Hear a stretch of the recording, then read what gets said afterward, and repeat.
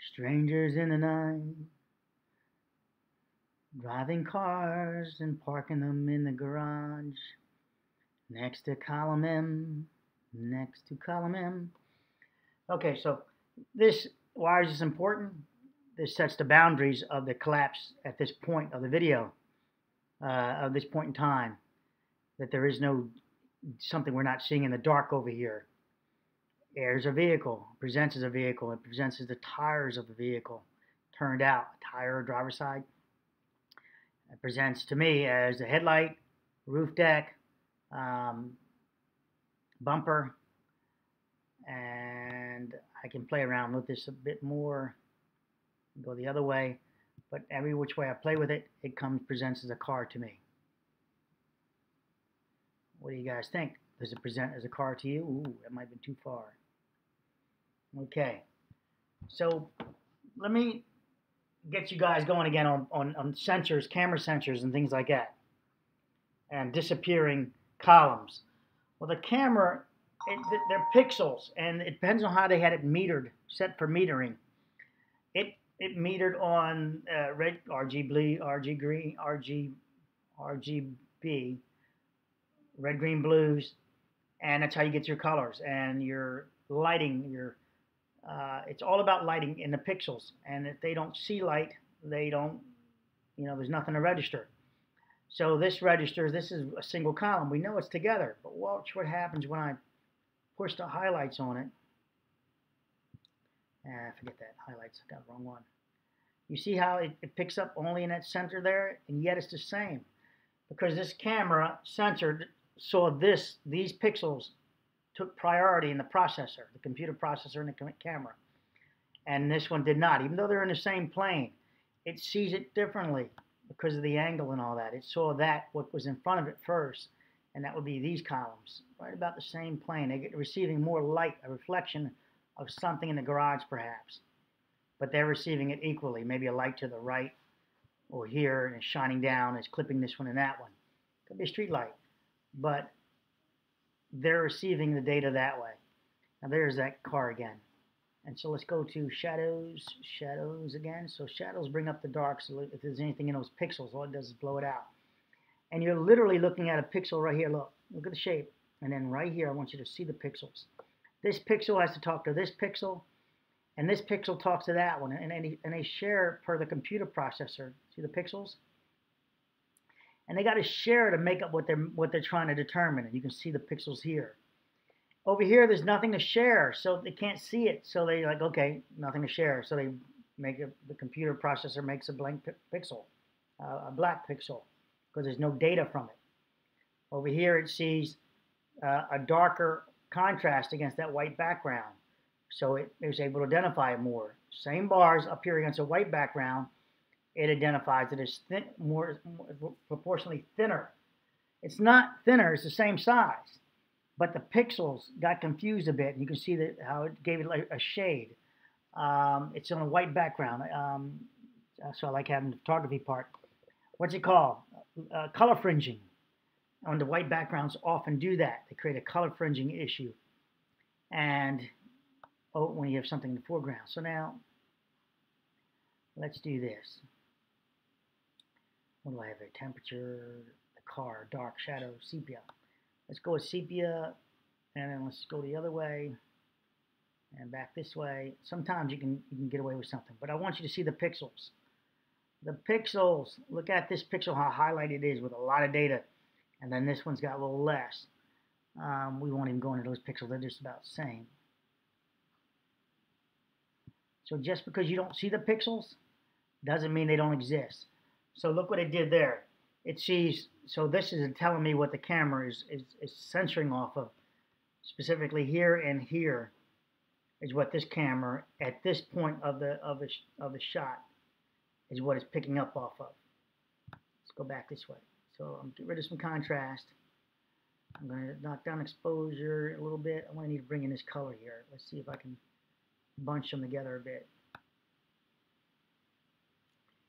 I'm removing them, removing them, removing, removing. Okay. Let's put them back. And let me shift this a little bit.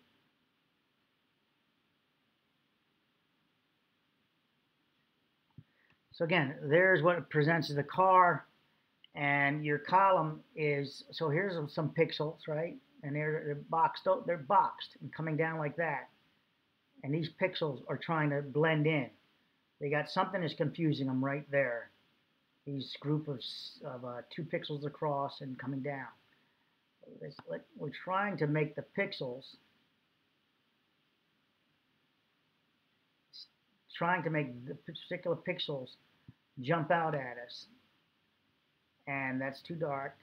And to do that, I need to I need those pixels to, to pixelate. And we can see they're not doing anything. They're saying these pixels are the same as that. It's just not bringing it in. So you got a disappearing column. It's deal, dealing with this sensor of camera. A column has not disappeared. This is this is a, not a disappearing column. It is not registering with the little sensor in the camera in the cell phone. Now let's go that direction.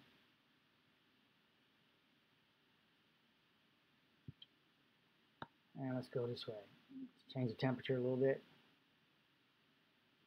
White balance. Right here is some grass, just so you know, I did find grass in here. Um, so it's definitely the, uh, um, the washing machine, as you guys call it Let's go with exposure again. Contrast. So you see what happens there. It looks like it's a notch out of there. That's that letter C that's notching in there. Let's take the contrast all the way over and you'll see it line up again and now refine right about there. And so here and here are our highlights. Our highlights that are that are um, contrast right that are, and I can take it and it will go down to, that's as far as it goes. So they're the ones that the camera censored off of the most, and that that based the rest of the image on how, what it could do. I'll try to push it a little bit, but you see what happens here. I'm starting pick, getting pixels that are now connecting to each other and, and, and looking like little teardrops. Let's go back to the square pixels, uh, we can pull them back up.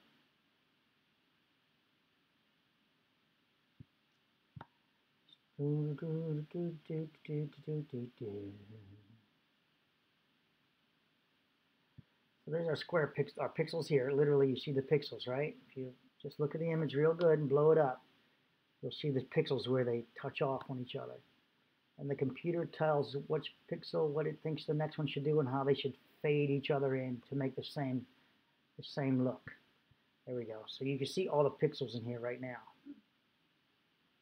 Do, do, do, do, do, do, and this is my pixel. These are my pixels. mypixels.com.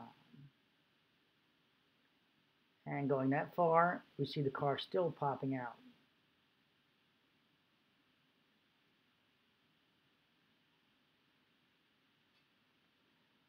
And so this steel grate in front hijacked our column and the pixels uh, and that's why they got vanished along with being at nighttime. And the highlights there hijacked our column, our column that's been disappeared. Now, if you want to know what that's like to do that, go to your screen and your put your camera at your um, a screen in your in your window or a fence, but a screen will work and and start putting your camera closer and closer to the screen. As you go closer to the screen, I'm talking about screen in the window. First, you'll see the screen, and then as you get so close, the screen will disappear. And the screen's there, right? We know this, you know the screen is there. So at a distance, your screen may appear gone, but at some point, your screen's going to come in, and then it's going to vanish. It's going to come in, going to, it's going to be not be there, and then all of a sudden, it's going to be there and you're going to be looking through a screen. Now, I want you to do that zooming in also. And notice what happens when you zoom in through the screen. It's going to make your images look even worse than if you zoom in without the screen. Because that screen, the, the camera still sees part of that screen as interference, and it will try to uh, figure out what's going on. Because that screen acted as a filter over your lens. Well, this damn steel, this gate, is acting like that screen, a filter over the lens, and it's, it's, it's giving it a lot of pixel stuff that's trying to match up to make it stand out from the background and tie it together. And it needs some variances, like the, hard contrast of this whitish looking product here. And that's why you have your disappearing column. But now we have an appearing car, automobile right here. This again, boundaries, boundaries are, are uh, failure between M and over to your uh, to the left, right towards KLM. So this car showing nothing's compressed it or broken on it, dropped on it at this point, at least up to this point. Once you find a parking spot, um, it shows that uh that there this this is limited. The drape, the original failure, has limited itself to right over, probably right by the construction joint. It's on the deck, not not inside the not inside uh, the, the property building yet, but on the deck. And that also gives you your disappearing column, pixels. Pixels, baby. And the screen effect, if you think of that. Take care. Bye. Oh, yeah, I should be a little slower on the take care buys. It seemed like I just jump out and you guys are like, hey, that was cold. All right, so look, one, two, three, I'm out of here. Bye.